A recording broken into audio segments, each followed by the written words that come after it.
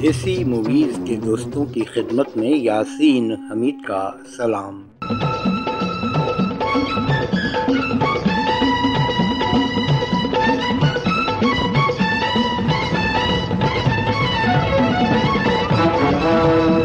दोस्तों, पाकिस्तान की यादगार फ़िल्मों के सिलसिले में हम कोशिश करते हैं कि ऐसी फ़िल्मों का ज़िक्र करें जो फिल्मी तारीख में किसी न किसी हवाले से रुझान साज साबित हुई या फिर ये फ़िल्में कहानी, मौसीकी या फ़िल्म के किसी अदाकार की शानदार कारकर्दगी की वजह से याद की गईं। हमारी आज की फ़िल्म इसी तरह की फ़िल्मों में से एक है। ये कामयाबी के एतबार से डायमंड जुबली हिट रही। इस फ़िल्म के अदाकारों ने सुपर क्लास अदाकारी के ज़रिए ओज को मनवाया। फ़िल्म के गीत अवामी मकबूलियत हासिल करने में कामयाब रहे। इस फ़िल्म की लंदन में शूटिंग के बाद आइंदा दिनों में दुनिया के दीगर ममालिक में फ़िल्में बनाने का रुझान, तकवीत पकड़ गया। इस फ़िल्म के निसफ दर्जन से ज़्यादा शोबों में उम्दा कारकर्दगी पर फनकारों और हुनरमंदों ने अवार्ड्स हासिल किए। जी हाँ दोस्तों, हमारी आज की फ़िल्म है 1971 में रिलीज़ होने वाली नगमाती उर्दू फ़िल्म दोस्ती।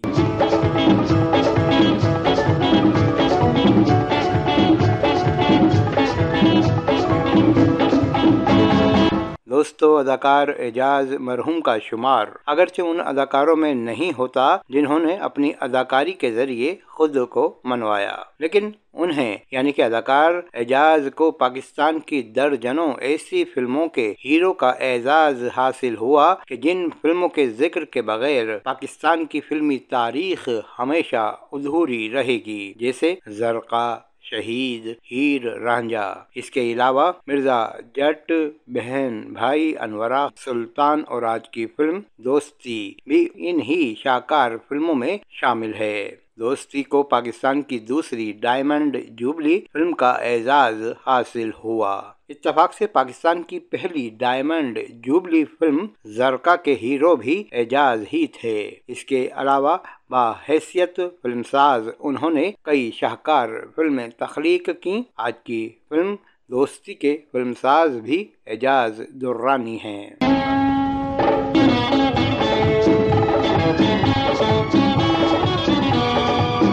दोस्तों, आपके लिए हमने फ़िल्म दोस्ती के हवाले से तमाम तर मालूम को हजब सबक यकजा किया है। शामिल रखेंगे सब कुछ, लेकिन पहले हाजिर फ़िल्म का टाइटल।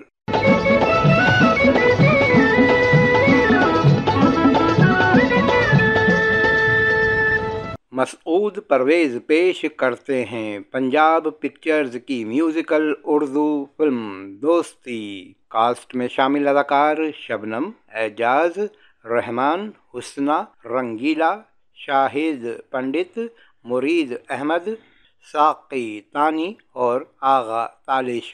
कहानी और मुकाल में अली सुफियान आफाकी। मूसीकार ए हमीद। गुलकार नूर जहाँ माला मुजीब आलम। नगमा निगार Qateel Shifai, Tanvir, Naqvi, Kaleem, Usmani, cinematographer M. Fazil, editor Irshad Durrani, art Haji Mohiuddin, makeup Munawar Hussain फिल्मसाज Ejaz Durrani, हिदायतकार एस. नैयर यानी के शरीफ नैयर। दोस्ती की आउटडोर शूटिंग पाकिस्तान में आज़ाद कश्मीर और बरतानिया में लंदन में की गई जबकि indoor shooting Bari studio Lahore में मुकम्मल की गई। दोस्ती सात फरवरी 1971 ईद उल अजहा के मौके पर मुल्क भर में नुमाइश के लिए पेश की गई और शानदार कामयाबी हासिल करके डायमंड जुबली का एजाज हासिल किया। ये राजू ने मुझे खत क्यों नहीं लिखा? तुझे क्यों लिखा है? मेरा दोस्त जो हुआ आ, और मैं तो उसकी दुश्मन हूँ। ये बात नहीं रानी खत्म तो सब तेरी ही बातें हैं। अच्छा बता क्या क्या लिखा है? लिखा है रानी की याद बहुत सताती है। दोस्तों, फ़िल्म दोस्ती की कहानी का खुलासा पेश करने से कबल। इस फ़िल्म के मरकजी ख्याल और इसमें पेश करदा चंद मसाइल पर नज़र दौड़ाते हैं ताकि कहानी का मजमू तासर आप तक पहुँच सके। दोस्ती की कहानी रिवायती ट्राई एंगल लव स्टोरी है। एक नहीं, दो ट्राई एंगल एक शबनम एजाज रहमान, दूसरा एजाज हुस्ना और शबनम का। कहानी दो प्यार करने वालों की लाजवाल दोस्ती की है।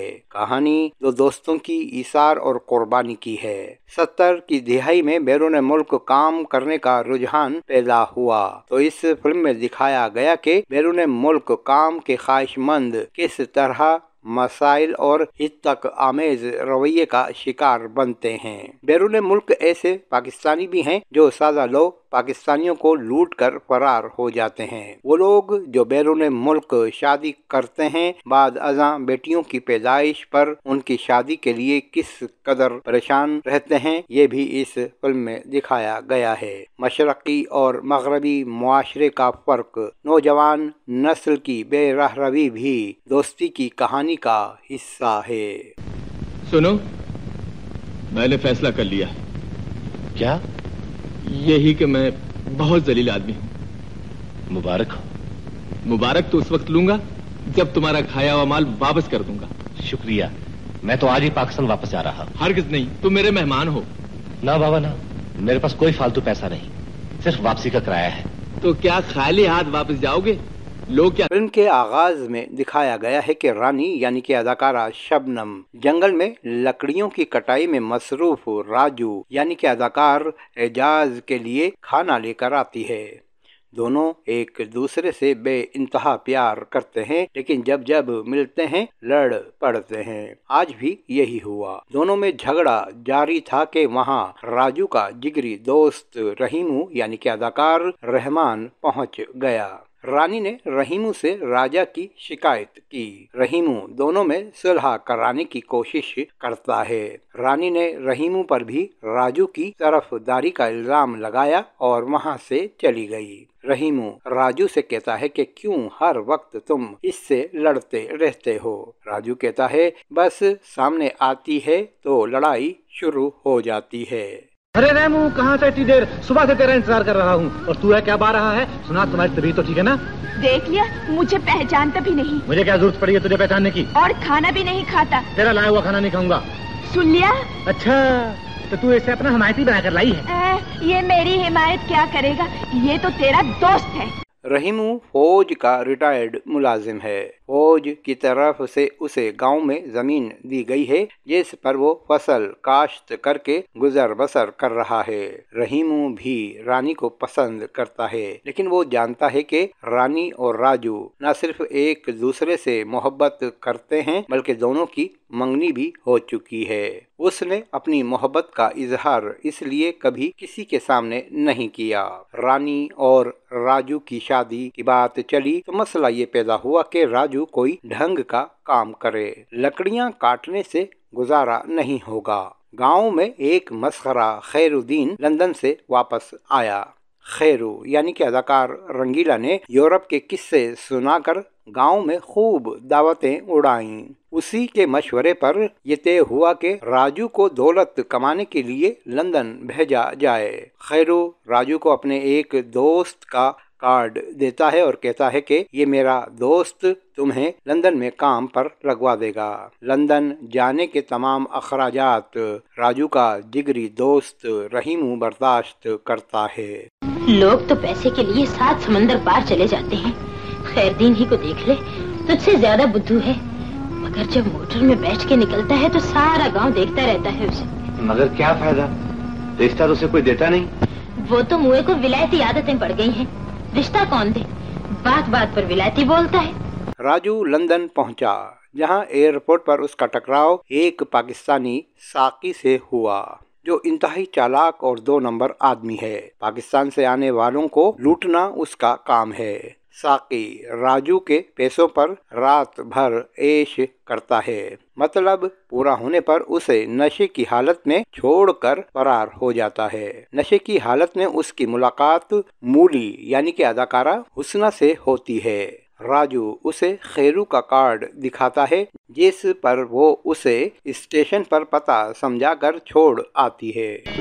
परेशान होने की ज़रूरत नहीं भाई। आप उर्दू बोलते हैं? हैरान क्यों होते हो? पाकिस्तान से आए हो? हाँ मीरपुर से आया हूँ। अरे वाह मेरा बचपन भी मीरपुर में गुजरा था। वाले साहब फॉरेस्ट अफसर थे। फिर तो आप भी पाकिस्तानी हैं। अलहमदुल्ला नौकरी की तलाश में आए हो? मैं हाँ चाचा खैरदीन ने बरसत का नाम खत दिया है। बट बट की ज़रूरत नहीं। मेरा नाम साकी है। एक नंबर काम कर दूँगा। मूली एक पाकिस्तानी सेठ मलिक साहब यानी कि अदाकार तालिश की आज़ाद ख्याल बेटी है।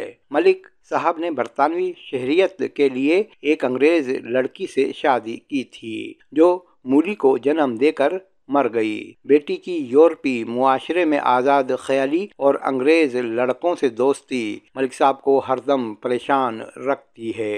डैडी यू आर अवेक नींद नहीं आती बेटी। जब तुम चली जाती हो तो मेरी आँखों की नींद भी तुम्हारे साथ चली जाती है। हाउ सैड अब तुम आ गई हो नींद भी आ जाएगी।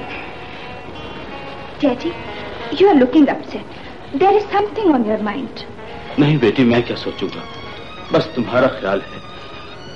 जिमी के साथ तुम्हारा रातों को घूमना मुझसे बर्दाश्त नहीं होता। एक रोज मूली अपने अंग्रेज़ दोस्त जिमी के साथ घूम रही थी कि जिमी उसकी इज़्ज़त पर हाथ डालता है। इत्तेफाक से राजू वहाँ पहुँच जाता है और जिमी की पिटाई करता है।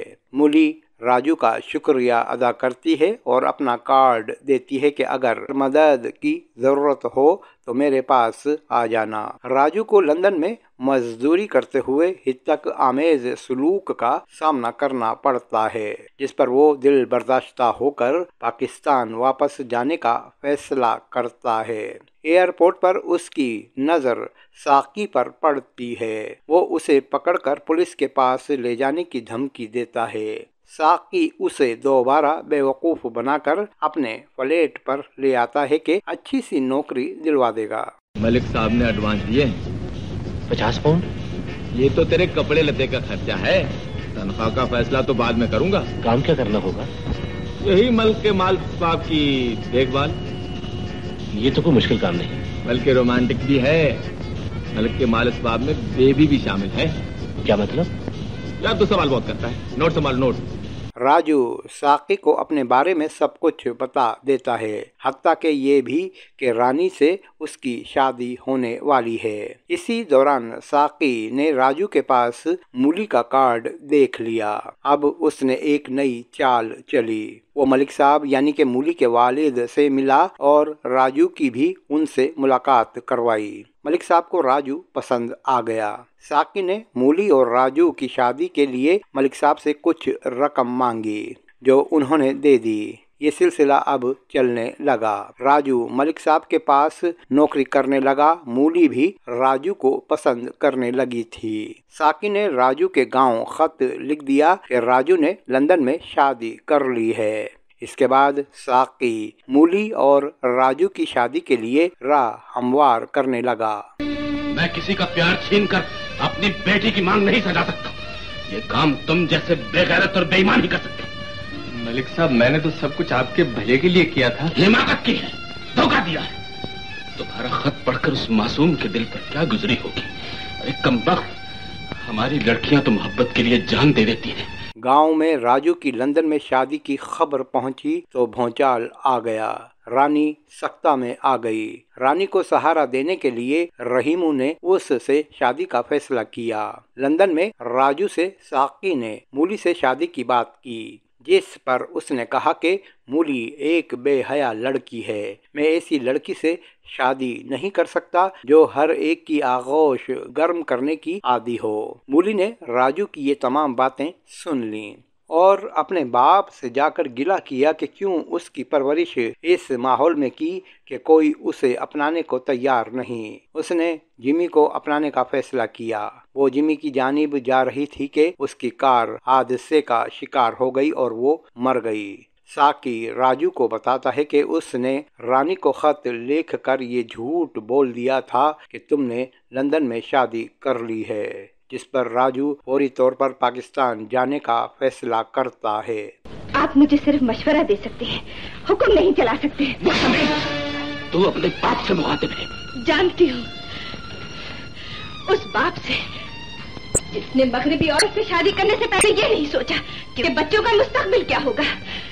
राजू के पाकिस्तान रवाना होते ही मलिक साहब और साकी भी उसके पीछे पाकिस्तान आ गए कि राजू के वफाशार होने की गवाही दे सकें। राजू गाँव पहुँचा। रास्ते में उसे खैरू मिला, जिसने उसे बताया कि आज रहीमू और रानी की शादी है।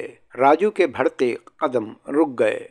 आगे क्या हुआ? रानी और राजू का मिलाप हुआ कि नहीं? मोहब्बत, दोस्ती, कुर्बानी, हर जज्बा क्लाइमैक्स की जान है। और हसब रिवायत आपकी दिलचस्पी के लिए हम कहानी को यहाँ नामुकम्मल छोड़ते हैं ताकि आपके लिए फ़िल्म के अख्ताम तक दिलचस्पी बरकरार रहे। एक शानदार फ़िल्म का शानदार अंजाम। दोस्ती की कामयाबी की बुनियाद भी साबित हुआ।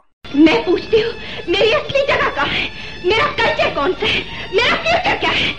मैंने कौन सा गुनाह किया है जिसकी मुझे ये सजा मिल रही है? बोलिए जवाब क्यों नहीं देते?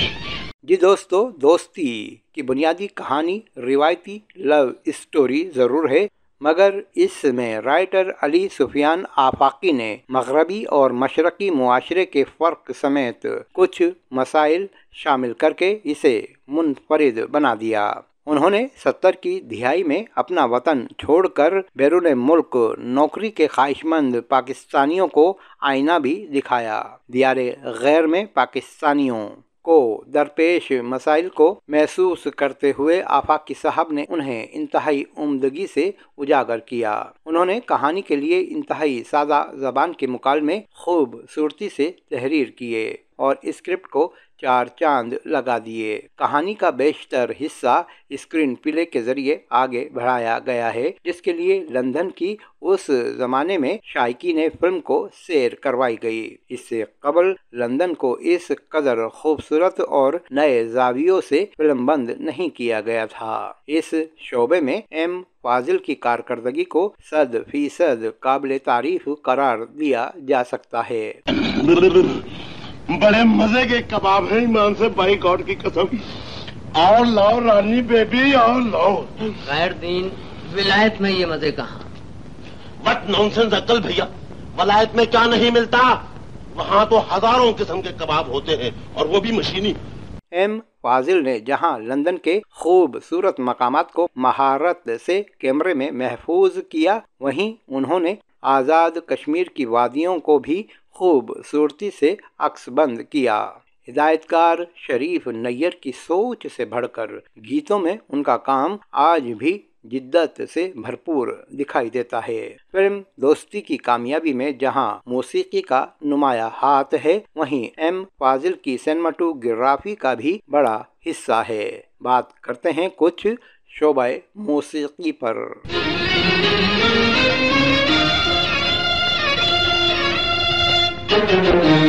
शोबा मौसीकी में ए हमीद ने आठ गीतों में अपनी महारत से सुरों की बरखा बखेरी के हर गीत ने मकबूलियत के रिकॉर्ड कायम किए। कलीम उस्मानी के चार गीत, बाकी दो गीत तनवीर नकवी और कतील शिफाई के थे। सात गीतों में मलका तरन्नम नूर जहाँ की आवाज़, वो जादू जो सर चढ़कर बोला ये वादियाँ पर्वतों की शहजादियाँ और चिट्ठी जरा सैया जी के नाम लिख दे, जैसे अवामी गीत आज भी कानों में रस घोलते हैं। बिलाशुबा दोस्ती बेस्ट ऑफ़ मलका तरनम नूरजहाँ और ए हमीद साबित हुई।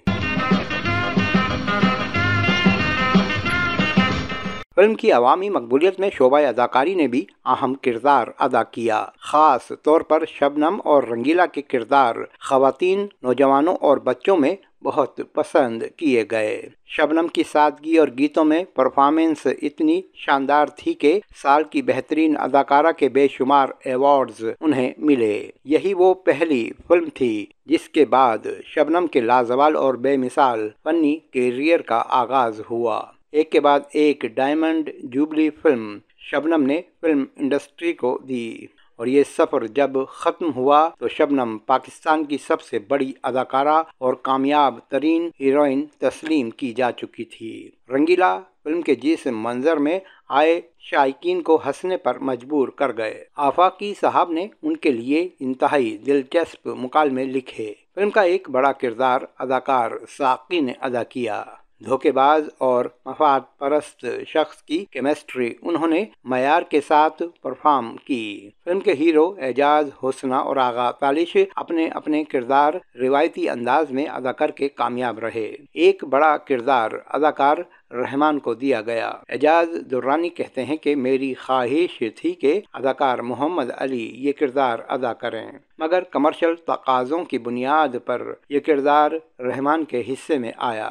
उस वक्त तक मशरकी पाकिस्तान सर्किट मौजूद था, जहाँ रहमान की हैसियत एक सुपर स्टार की थी। रहमान ने इसी तर्ज का किरदार कामयाबी से एक और फ़िल्म, प्यासा में अदा किया था, लेकिन दोस्ती में उन्होंने दो कदम आगे बढ़कर परफॉर्मेंस दी। खास तौर पर चेहरे के तासुरात से बेबसी और कर्ब को उन्होंने उमदगी से नुमाया किया। मशीनी कबाब? हाँ हर मोड़ पर हर नुक्कड़ में हर चौक पर हर बाज़ार में हर गली में हर कूचे में ये बड़ी बड़ी मशीनें लगी हुई हैं। ये छोटे छोटे बर्तन लगे हुए हैं। इधर से साबत बकरा डाला दूसरी तरफ़ से शामी कबाब चप्पल कबाब सैंडल कबाब निकलने शुरू हो जाते हैं। भाई कमाल। कमाल तो ये है अंकल भैया कि जो कबाब बच जाते हैं ना उन्हें फिर मशीन में डाल देते हैं और मशीन को उल्टा चला देते हैं है? दूसरी तरफ़ से वही कबाब ज़िंदा बकरा बनकर घास खाने लगता है। दोस्तों, दोस्ती को फ़िल्म के हीरो एजाज ने हीर रांझा की कामयाबी के बाद शुरू किया।